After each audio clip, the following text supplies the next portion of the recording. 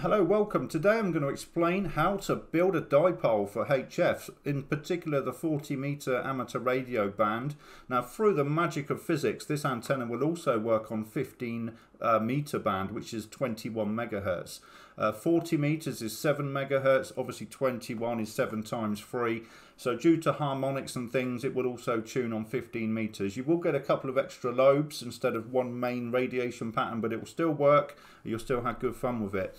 Uh, let's just jump over to this other screen and I will very quickly uh, tell you how my dipole is built if anybody's interested. So quick, we'll quickly draw the garden. There's a fence, uh, fence panels, uh, and then that comes back that way. So this is just a wooden fence and then all this here is just grass.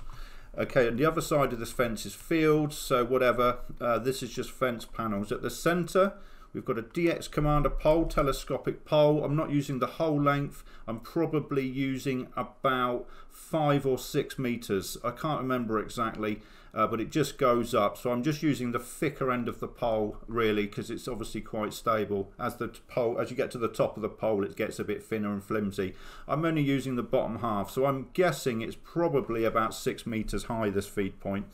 Uh, what happens is the coax comes out of the shack and it just runs across the grass. I do have a line isolator around about here somewhere and all that is is a 240 slash 43 mix uh, ferrite ring and the coax is just wrapped around about 10 or 11 times and I've just taped it up with tape to keep everything in place. So that's about here and that's my line isolator or choke.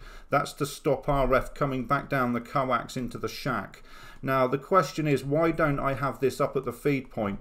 Well we'll cover that in a moment. So the, it's a 40 meter dipole, half of 40 is 20 so therefore half of that is 10 which means each leg is going to be 10 meters long approximately. So the overall length is 20 meters. That gives us the half wave dipole for 40 meters. So each leg is around about uh, 10 meters. And at the end here, we've just got an insulator, which is just basically a piece of plastic. It can be anything you like. You could even just, you, you can tie uh, the, the cord, you can tie the wire straight off to the cord if you really want to. Uh, the only issue there is, uh, I don't know what the issue is to be honest. I've done it in the past, it still works, but uh, I guess if it gets wet, it's more likely to cause a problem.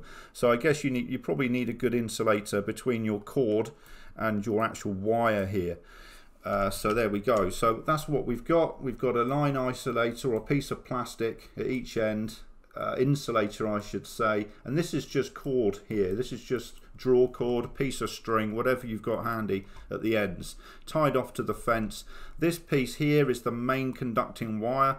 It's just standard antenna wire. It can be any wire you like. It doesn't really matter uh, as long as it's uh, it can support itself. The thinner thinner wire obviously can't cope with as much power as thick wire. The reason for that is uh, the RF actually travels down the outside of the wire. At HF, when you when you put power into a wire, it travels down the surface.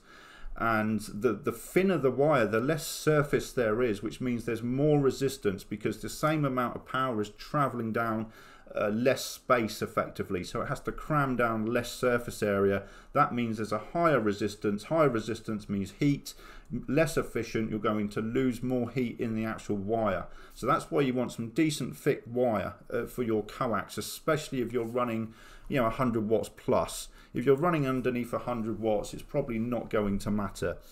Uh, but don't quote me on that. So up here what we have is a box. In the box on my antenna uh, we've actually got a PL2, uh, uh, you know, SO239 socket on the bottom, so my coax can come straight up, and there's a little plug here underneath uh, to screw into the box. Inside the box, all that happens is one wire comes off one way, one wire comes off the other way. There's no unun, there's no, uh, there's no coil, there's no toroid, there's nothing. It's literally the center core comes off one way, and the braid goes off the other way. This box doesn't need to be there.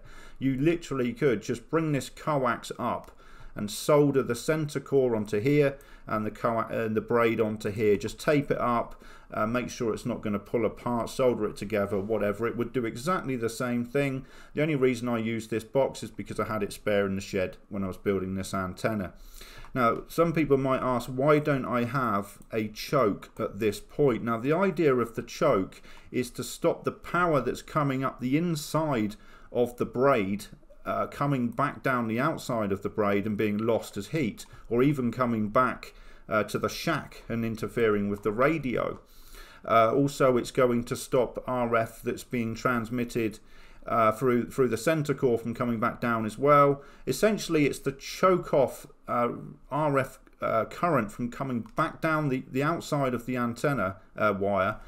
sorry, the coax and just being wasted effectively. It forces all of the power down to the elements to be radiated where you want it. Now, the reason I don't have a, a feed point uh, choke is because I'm quite happy for this length of wire between the, the ground and the feed point to act as part of the antenna.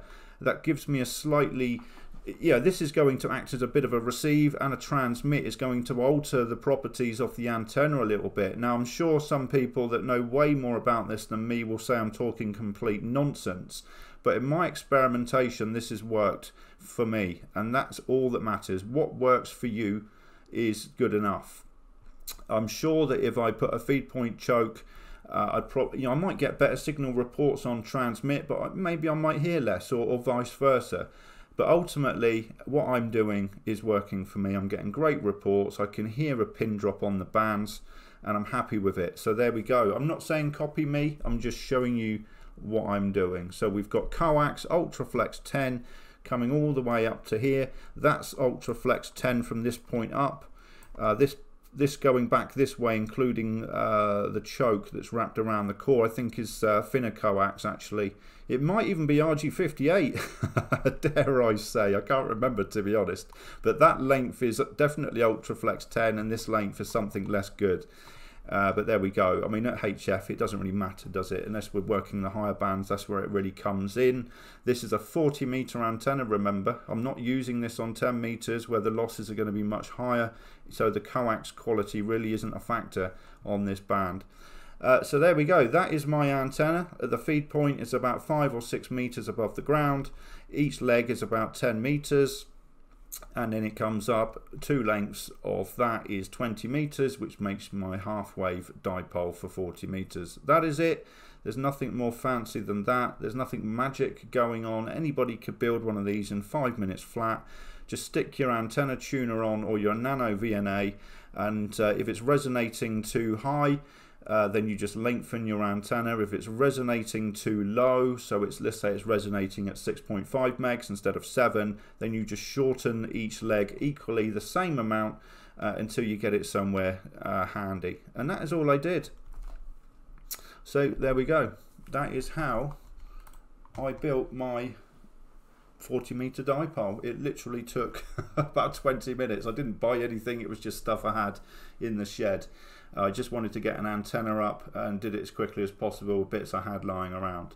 The whole thing about the feed point choke, you can argue about that in the comments. I'll be here, happy to hear what anybody's got to say. But ultimately, uh, if you've ever watched my live streams or heard me on air, you will know that this thing works and I'm happy with it. And that's all that matters at the end of the day. Thanks for watching. See you in the next one. Bye bye.